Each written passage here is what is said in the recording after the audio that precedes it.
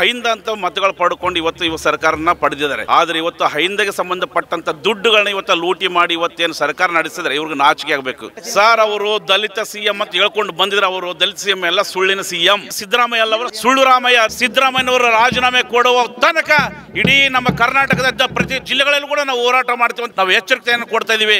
S ವೀಕ್ಷಕರೇ BJP, J D S ಪಾದಯಾತ್ರೆ ಮೈಸೂರು ಚಲೋ. ಈಗಾಗಲೇ ಬಿಜೆಪಿ ಹಾಗೂ ಜೆ ಡಿ ಎಸ್ ಎರಡೂ ಕಾರ್ಯಕರ್ತರು ಕೂಡ ಹುಮ್ಮಸ್ಸಿನಿಂದ ಹೆಜ್ಜೆ ಆಗ್ತಾ ಇರುವಂಥದ್ದು. ನನ್ನ ಜೊತೆ ಈಗ ಉತ್ತರ ಕರ್ನಾಟಕದ, ಅಂದರೆ ದೂರದ ಉತ್ತರ ಕರ್ನಾಟಕದ ರಾಯಚೂರಿನಿಂದ ಬಂದಂತಹ ಬಿ ಜೆ ಪಿ ಕಾರ್ಯಕರ್ತರುಗಳಿದ್ದಾರೆ.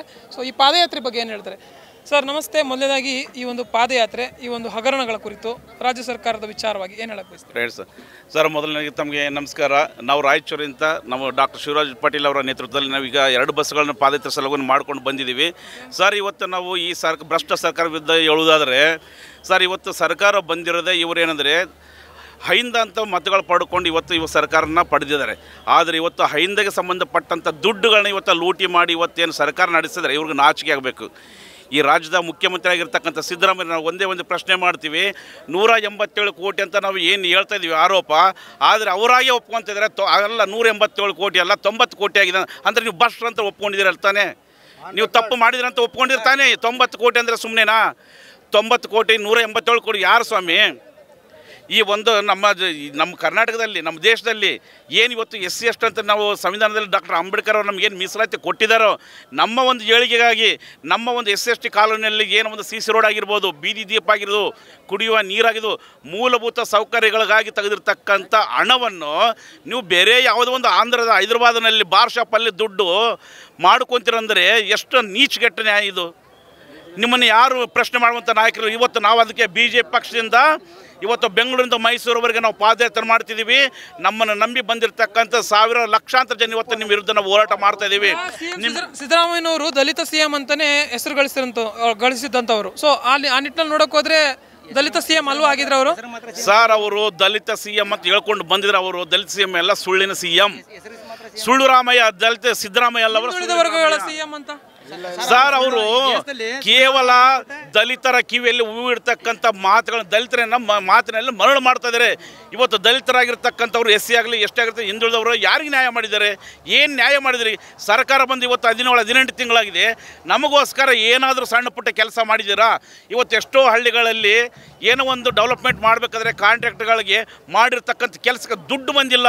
ಆಮೇಲೆ ಏನು ಇವತ್ತು ನೀವೇನು ಐದು ಗ್ಯಾರಂಟಿಗಳೇನು ಕೊಡ್ತಾ ಇದ್ರು ಐದು ಗ್ಯಾರಂಟಿಗಳಿಗೆ ನೀವು ಕೇವಲ ಒಂದು ನಾಲ್ಕೈದು ತಿಂಗಳು ಕೊಟ್ಟರೆ ಆಮೇಲೆ ಏನು ಕೆಲವೊಂದು ಇವತ್ತು ಫಿಫ್ಟಿ ಪರ್ಸೆಂಟ್ ಕೊಟ್ಟಲಿಕ್ಕೆ ಇವತ್ತು ಕೇವಲ ಒಂದು ಟ್ವೆಂಟಿ ಪರ್ಸೆಂಟ್ ಮಾತ್ರ ಬರ್ತಾ ಇದೆ ಅಂದರೆ ನೀವು ಗ್ಯಾರಂಟಿಗಳ ರೂಪದಲ್ಲಿ ಜನಗಳಿಗೆ ಮೋಸ ಮಾಡ್ತಿದ್ದೀರಾ ನೀವೆಲ್ಲ ಹಗರಣ ಮಾಡ್ತಿದ್ದೀರಾ ಸಾವಿರ ಜನ ಕೊಡಲಿ ನೂರು ಜನ ಕೊಟ್ಟು ಉಳಿಕಿದ ಒಂಬೈನೂರು ಜನ ದುಡ್ಡು ನಿಮ್ಮ ಖಾತೆಯಲ್ಲಿ ಇಟ್ಕೊಳ್ತಿದ್ದೀರಾ ಇನ್ನು ನೀವು ಮಾಡ್ತಕ್ಕ ಜನಗಳು ಮಾಡಿರ್ತಕ್ಕಂಥ ಮೋಸ ನೀವು ಮಾಡಿರ್ತಕ್ಕಂಥ ಮೋಸವನ್ನು ನಾವು ಯಾವುದೇ ಕಾರಣಕ್ಕೆ ನಾವು ತಟ್ಕೊಳ್ಳಂಗಿಲ್ಲ ನಿಮ್ಮ ವಿರುದ್ಧ ಇನ್ನೂ ಹೆಚ್ಚಿನ ರೀತಿಯಲ್ಲಿ ಹೋರಾಟ ಮಾಡ್ತೀವಿ.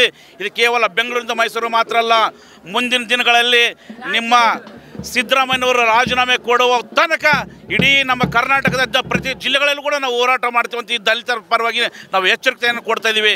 ರಾಯಚೂರು ಗ್ರಾಮೀಣದಲ್ಲಿ ಬಸನಗೌಡ ದದ್ದಲ್ರವರು ಕೂಡ ಏನು ಹಗರಣ ನೇರವಾಗಿ ಭಾಗಿಯಾದ್ದಾರೆ ಅವರು ಎಸ್ ಟಿ ಕಾರ್ಪೊರೇಷನ್ನಲ್ಲಿ ವಾಲ್ಮೀಕಿ ಅಧ್ಯಕ್ಷರಾಗಿರ್ತಕ್ಕಂಥ ಬಸನಗೌಡ ದದ್ದಲ್ರವರು ನೀವು ಕೂಡಲೇ ರಾಜೀನಾಮೆ ಕೊಡಬೇಕು. ಹೆಚ್ಚು ನೀವು ಶಾಸಕ ಸ್ಥಾನ ಕೂಡ ಕೂಡ ರಾಜೀನಾಮೆ ಕೊಡಬೇಕು. ನೀವೇನಂದ್ರೆ ಇವತ್ತು ಎಷ್ಟು ಸಮಾಜದ ಒಂದು ಕ್ಯಾಟಗರಿ ರಿಸರ್ವೇಶನ್ನಲ್ಲಿ ಗೆದ್ದಂತ ನೀವು ವ್ಯಕ್ತಿ, ಇವತ್ತು ದಲಿತರ, ಆಮೇಲೆ ಎಷ್ಟು ನಿಗಮದ ದುಡ್ಡನ್ನು ನೀವು ಲೂಟಿ ಮಾಡ್ತಿದ್ದೀರಾ? ಯಾವ ಪುರುಷಾರ್ಥಕ್ಕಾಗಿ ಇವತ್ತು ಸಮಾಜಕ್ಕೆ ಏನು ಏನ್ ಮೆಸೇಜ್ ಕೊಡ್ತೀರಾ? ಮಾತಾಡಿ. ಇವತ್ತು ಮಕ್ಕಳ ಹೆಸರಿಗೆ ಇವತ್ತು ಹಿಂದುಳಿತಕ್ಕಂತ ಏನ್ ಎಸ್ ಆಗಿರೋ ಎಷ್ಟೇ ಆಗಿರೋ ಜನಗಳಿಗೆ ಹೊಲ ಇಲ್ಲಂದ್ರೆ ಹೊಲ ಖರೀದಿ ಮಾಡಬೇಕು.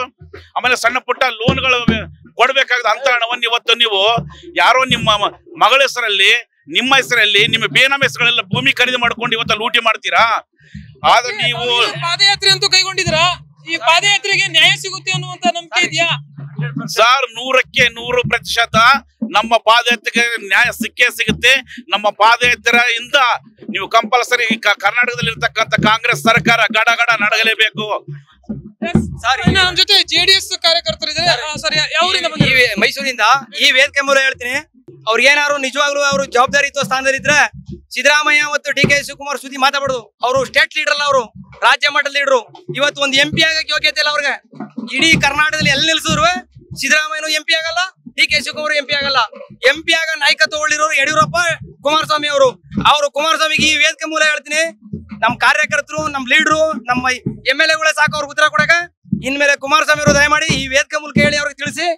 ಅವರು ಸಿದ್ದರಾಮಯ್ಯ, ಡಿ ಕೆ ಶಿವಕುಮಾರ್ಗೆ ಅವರು ಸರಿಸಾಟಿ ಅಲ್ಲ ಅವರು ಸಮನಾದವರಲ್ಲ, ಅವ್ರಿಗೆ ಅವ್ರಿಗೆ ನಮ್ಮಂತ ಅವ್ರ ಕಾರ್ಯಕರ್ತರೇ ಸಾಕು ಅವ್ರಿಗೆ ಉತ್ತರ ಕೊಡಕ ಅವ್ರೇನು ದೊಡ್ಡ ಮಟ್ಟದಲ್ಲಿ ಇರೋರು ದೊಡ್ಡದವ್ರು ಉತ್ತರ ಕೊಡ್ಲಿ. Siddaramaiah, D K Shivakumar M P ಆಗೋರು ಅಲ್ಲ, ಕೇಂದ್ರ ಮಂತ್ರಿ ಆಗೋರು ಅಲ್ಲ. ಅಂತೆ ಅವ್ರ ಸುದ್ದಿ ಮಾತಾಡಿ ಅವರು ಸುದ್ದಿ ಮಾತಾಡೋದೇ ಬೇಡ